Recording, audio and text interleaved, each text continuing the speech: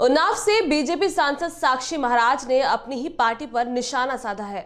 लोकसभा चुनाव को लेकर बीजेपी प्रदेश अध्यक्ष महेंद्र नाथ पांडे को पत्र लिखा है। पत्र में उन्होंने कहा, उन्नाव में बीजेपी को उन्होंने खड़ा किया है, मेहनत और पैसा लगाकर। इस क्षेत्र में मेहनत की है। उन्होंने चेतावनी देते हुए कहा कि अगर उन्हें यहाँ से टिकट नहीं मिला तो पार्टी को इसका परिणाम भुगतना होगा।